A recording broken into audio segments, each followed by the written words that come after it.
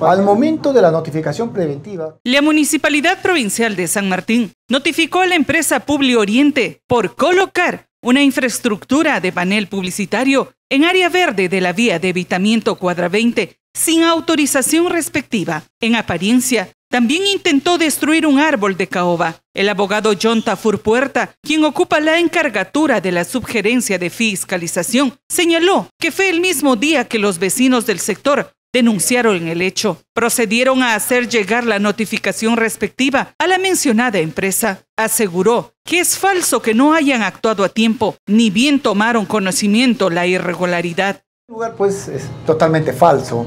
Eh, lamento eh, el inapropiado comentario por parte de las ex autoridades o el señor dirigente, toda vez que sí se ha actuado de manera inmediata ante un aviso que ha desarrollado un poblador y prueba de ello es que tenemos la notificación preventiva 9176 que se le insta, se le notifica y se le insta al retiro de esa estructura metálica. Acá tenemos la, notificación preventiva, tenemos el acta de inspección que eh, se ha actuado pues en la misma fecha y hemos actuado a las a la 1 y 5 pm del 1 de junio de 2020 22. Entonces, eh, hemos tomado conocimiento y nosotros actuamos en dos formas. Bien, actuamos de parte cuando detectamos la infracción en el, en el, en el momento que se está realizando el acto de fiscalización o también actuamos de este oficio cuando nos dan a conocer un hecho de esta naturaleza en las cuales la municipalidad tiene facultades como es el caso de las infracciones administrativas.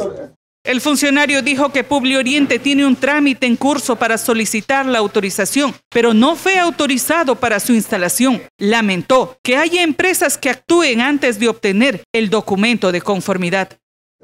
Al momento de la notificación preventiva que da el inicio del acto sancionador, pues no mostraron ninguna este, autorización al respecto eh, sí, efectivamente dieron a conocer que están iniciando el trámite, es por ello que se le ha paralizado hasta que regularice o se le otorgue el, permiso correspondiente. Tiene un trámite en curso que solamente nos se han este, dado a conocer, eh, pero esto no implica que el proceso sancionador continúe hasta su retiro en caso que no demuestren que tienen autorización. Es lamentable que empresarios prefieren primero colocar cualquier tipo de acción o, iniciar su empresa y después recién regularizar su documentación. Sí, eh, bien es lamentable, pero también a veces eh, el apresuramiento o desconocimiento, se podría decir, poniéndonos ya en el beneficio de la duda, pues eh, inician estos tipos de actos porque muchas veces confunden el, el tan solo presentar una solicitud.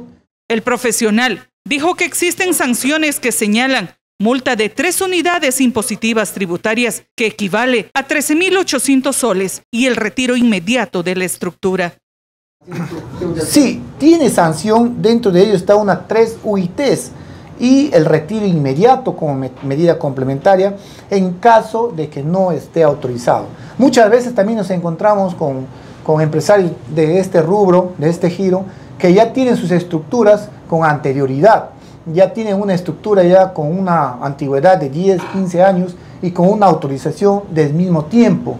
Estos también hacen prevalecer ello toda vez que tenemos en Indecopi el término de la barrera burocrática que siempre estamos en coordinación con ellos, pero sí hacemos ciertas este, regulamos ciertas actividades toda vez que esas autorizaciones pues tienen especificaciones técnicas que se deben cumplir y a veces nos encontramos que estas, estos empresarios en ese giro desarrollan más de lo que está permitido en las especificaciones técnicas y eso es lo que nosotros regulamos con las fiscalizaciones y con el área técnica de catastro.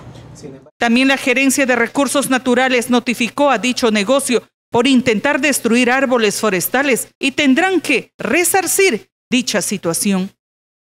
También se ha tomado acciones al respecto, se les ha notificado con el área de la Gerencia de Recursos Naturales y los fiscalizadores que integran esa gerencia de recursos naturales. También les hemos notificado a ellos a fin pues de buscar la mejor forma de restituir y de evitar que se sigan destruyendo plantas pues maderables, plantas que son eh, de actos extinguibles en algunas oportunidades que se está preservando del medio ambiente. ¿Cuántas empresas estarían haciendo este tipo de, trabajo acá en Tarapoto? O sea, eh, actuando sin todavía el, permiso adecuado. Bueno, en realidad son muy pocas, pero este, la gran mayoría está regulado. Eh, solamente actuamos nosotros en el momento que se está desarrollando la, este, la infracción.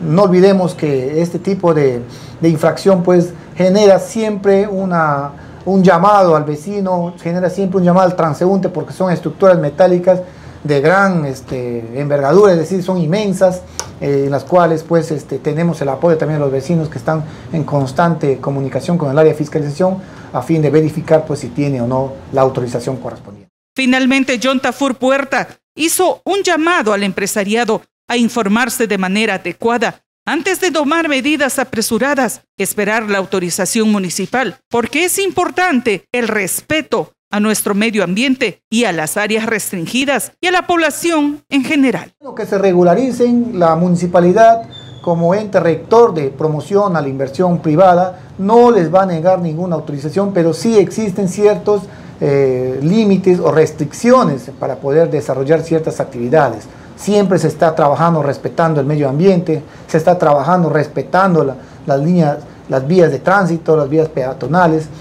En ese contexto eh, les sugiero, les exhorto pues que, que, esperen dentro del plazo establecido a fin de que presentado su solicitud, esperen su autorización correspondiente para que recién puedan trabajar con las medidas y, e implementaciones de seguridad del caso requiera.